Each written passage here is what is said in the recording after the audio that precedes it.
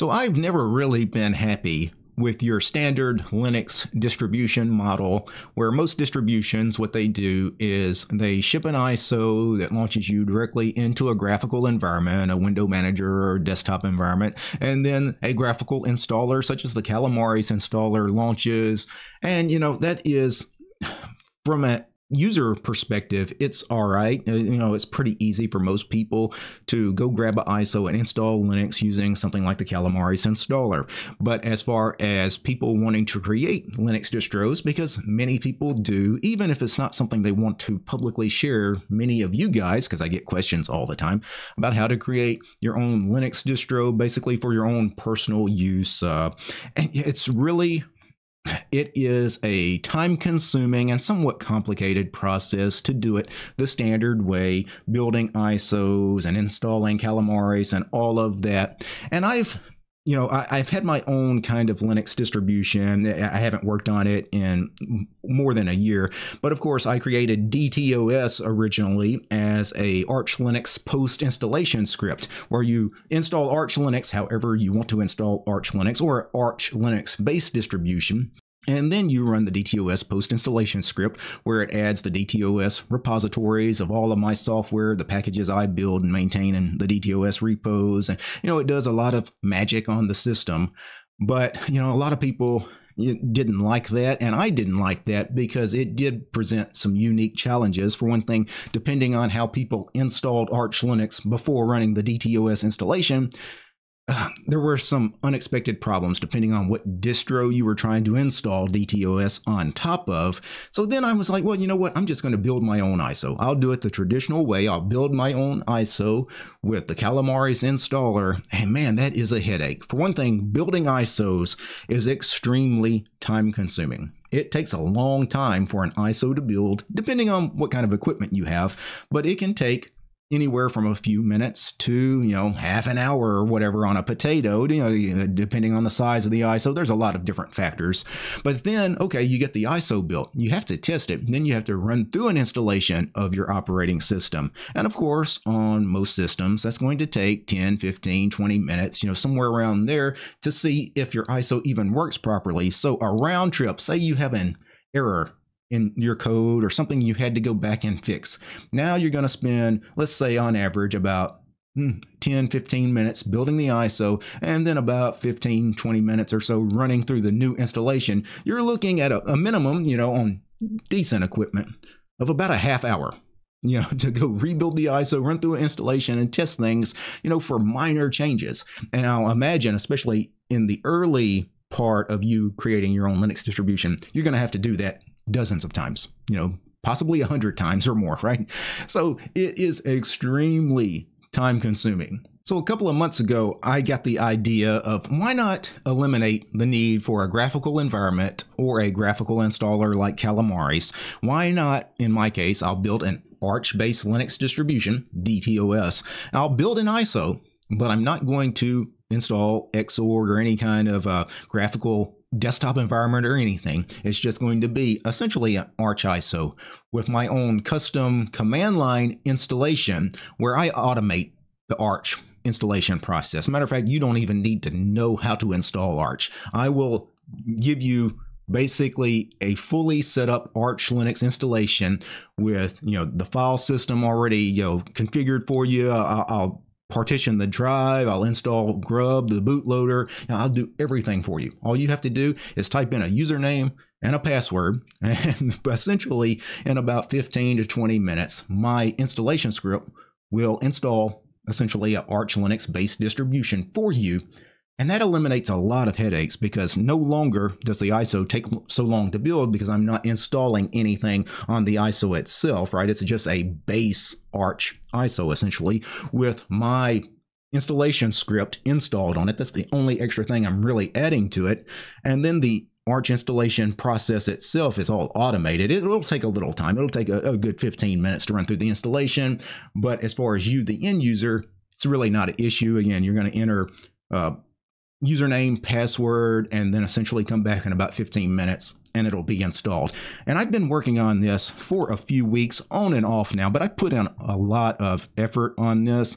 And let me show you what I've got so far on this. So if I switch over to the desktop here, so I've built probably I don't know, 50 different ISOs here in the last month or so, uh, trying to get the new DTOS ready. So basically, it launches the standard Arch ISO. You're in a TTY. That's all you get, right? No graphical environment of any kind, but I do have a script installed on the system. It is called, uh, right now anyway, DTOS install. And if I launch that, it's going to list your available drives on the system. Basically runs a LSBLK. That way you know which drives you have in your computer. Now, this is a virtual machine, so there's really only one virtual drive in this virtual machine machine, but on physical hardware, you may have multiple drives in the output here, and then it asks you to select the disk for the installation. In my case, I've only got one disk, so I'll choose that. Then it will ask you to choose a Linux kernel because I know some people will not want the standard Linux kernel. Some people want the LTS kernel, and some people may want the Linux Zen kernel. So I configured this in a way to ask you which of the three kernels you prefer. I'm going to do the standard Linux kernel and then select your locale. Now I need English US UTF-8. That's pretty much standard. If you're not sure which to pick, pick that at least. And then select your keyboard layout. I need a US keyboard. And then time zone, of course, America slash Chicago is usually what I pick out of these lists. And then set the host name for your computer. I'm going to call this computer DTOS.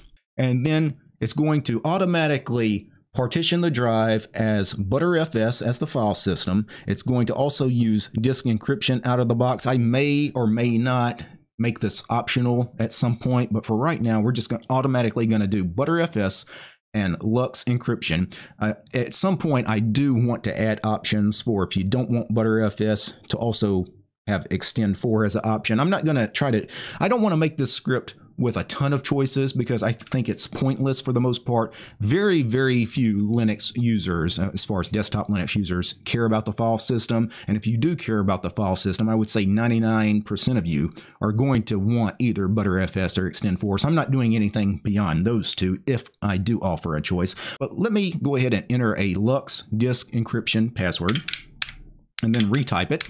And then root password. Let me set the root password and then retype it and then create your user. I'm going to call my user DT and then the password for DT and then re-enter. And then would you like to install the DTOS Qtile desktop because I'm going to install my Qtile config and everything if you want that. If you choose no to this question, this will just be a base Arch install essentially. Although I think I, I will go ahead and change the Pacman config to enable like the chaotic AUR. You'll you'll still have some stuff enabled, but I won't install any of my uh, desktop config files or anything. But I'm going to install the Qtile desktop. And then we get a summary uh, just in case you chose something wrong. For example, if that's not the disk you want to install to, obviously. You know, based on this configuration, would you like to install DTOS? Yes or no? And in my case, this all looks good, so I'll choose one for yes. And then formatting the disk slash dev slash VDA. Uh, is this correct? Because all data on slash dev slash VDA will be lost. So it's just, hey, one more safety check. Do you really want to do this? In my case, yes. And now the automated process begins. It's creating the partition table. It's running fdisk, or actually, I'm not using fdisk because that's an interactive program. I believe I was using either sfdisk or parted to uh, partition the drive here. Then it's going to run reflector to get us the fastest mirrors for Pacman. After that, it's going to start installing packages, uh, the base Arch install, and then it's going to install the DTOS Qtile desktop packages. And all of this is going to take a little while. It's going typically it's going to take about 10 to 15 minutes. So I'm actually going to pause the video and I'll come back assuming the installation does go as planned, which it may not because I constantly rebuilding this ISO and adding things to the script and finding errors. Uh, I just built this latest ISO about two hours ago and I haven't tested it yet. So let's see if the installation does complete. And it looks like the installation has completed. That installation actually didn't take too long on this machine. Um, got a pretty beefy workstation here at the office. That installation probably took, I don't know, 10 minutes, maybe a little longer, but it wasn't terribly long. But the installation has completed. Let's reboot the machine. and see if DTOS properly installed. And let's go ahead and launch it. Looks like we had a grub menu, so it did properly install grub at least. That, let's go ahead and enter our LUKS encryption password. And we get to our login manager, SDDM. Now, by default, because I installed Qtile, Qtile, the session is Qtile Wayland. That's not going to work. Don't even try it. Uh, so let's go ahead and go to Qtile with X11. And I should actually configure the ISO in such a way that when it installs Qtile, that the default login is Qtile on Xorg. So let's go ahead and log in.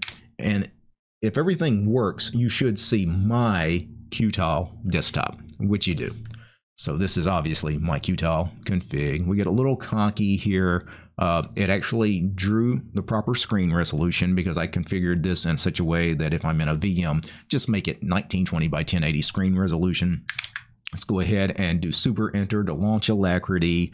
Um, what else should I try? If I do super shift enter, we get Rofi. I installed Brave as the browser. Let's make sure it launches correctly. Now, Brave was installed via the chaotic AUR because Brave is not in the standard Arch repositories, but on at least this iteration of DTOS, I have a couple of different repositories added to the pacman.conf. So let's go ahead and take a look at the pacman.conf. Got some kind of error there with NeoVim, but you've got your standard Arch repos here in the pacman.conf, and then down here, you got the DTOS core repositories. Those are my configs for Qtile and things like that. I have to maintain those myself. And then the chaotic AUR. So if you want to install things that have binary builds from the AUR, use the chaotic AUR, and that will include things like the Brave browser. There's two or three other packages I install out of the box that are found in the chaotic AUR. So it's something really nice to have. Plus, having the chaotic AUR here, I don't have to maintain as many custom builds of things in the DTOS core repo, which is a lot of work for me.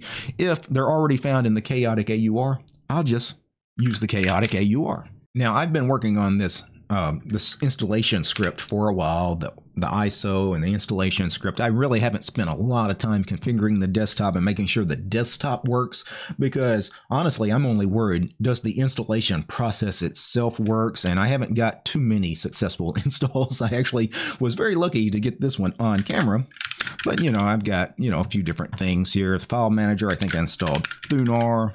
Uh, let's actually launch Thunar. Didn't theme it in any way out of the box, but I think I installed LX Appearance. Yeah, so we could actually do you know something like a, a, dark theme which is something i would do. As far as an icon theme i don't know if i installed any icons. I did.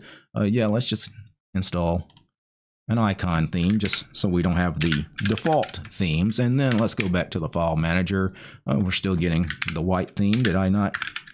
Uh, come on. Apply Let's see what else I can launch that is a graphical application. Oh, I actually LX Appearance itself is a graphical application. So, but it is probably uh, GTK2, maybe GTK3, where I don't know if Thunar. Yeah, I may have to do something else to set theming on it. But you know, a lot of this stuff, this will be stuff that will be a lot easier to figure out than that installation script. So the installation script, I actually should go ahead and launch the terminal. Let's do a lsblk. Make sure that we have our file system set up so you can see VDA was the drive. It created a boot partition and then VDA2, crypt root, that's your LUKS encryption, right? And then Btrfs is your file system. And then you've got your Btrfs subvolumes here. Uh, nothing special here kind of standard subvolumes you would typically create if you're doing uh, a Btrfs uh, installation. Eventually, I'll make sure that everything is set up with a Snapper or, or some kind of a, you know uh, snapshot program so you can roll back if you have problems with an update, or maybe just use a graphical tool like Timeshift, or I think there's another one called like a Btrfs Assistant. There's several tools that you could use, but you know the main thing is actually getting the uh, subvolumes and everything correct. And it looks like all of that is straight. So there you have it, a very quick preview of some of the work I've been doing here for about the last, I don't know, six weeks or so. It's been a slow work in progress. Uh, it's kind of a nightmare, actually, to create a installation script, especially a command line installation script to install Arch Linux, because not that it's necessarily complicated, but you do run into issues, especially when you're doing this trying to build the ISO as well, because sometimes the ISOs don't build correctly. Now, but anyway, if this is something that you guys want to see me to actually complete, you know, let me know in the comments down below. I've had people ask me to restart DTOS to build new ISOs or to do the post installation script, but I, having already done both of those projects in the past, I don't want to do those projects anymore. I don't think those are the correct way. I think, yes, the post installation script I didn't like.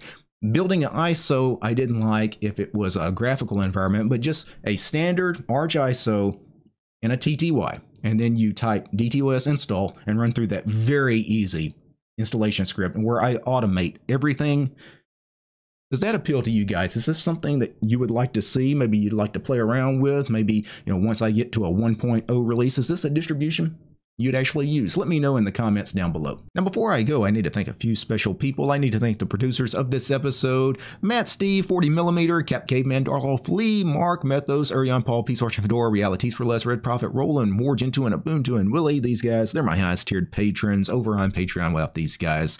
This quick look at what could be the future of DTOS would not have been possible. The show is also brought to you by each and every one of these fine ladies and gentlemen. All these names you're seeing on the screen right now. These are all my supporters over on Patreon because I don't have any corporate sponsors.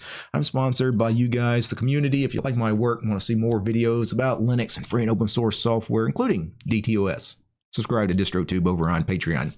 Peace, guys.